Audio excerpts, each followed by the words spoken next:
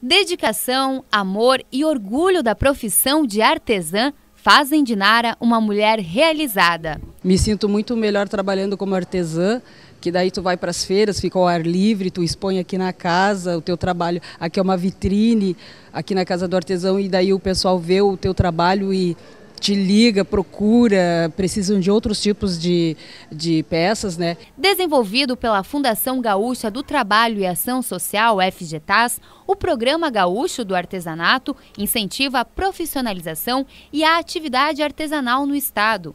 Entre janeiro e setembro deste ano, o artesanato movimentou mais de 34 milhões de reais. Nós temos toda uma série de suporte importante para o nosso artesão, que passa desde cursos de qualificação, que passa desde a triagem dos materiais, a confecção da carteira, para que justamente a gente tenha a possibilidade de dar o suporte para o nosso artesão, sabendo também que a gente disponibiliza 29 casas do artesão para comercialização em todo o estado.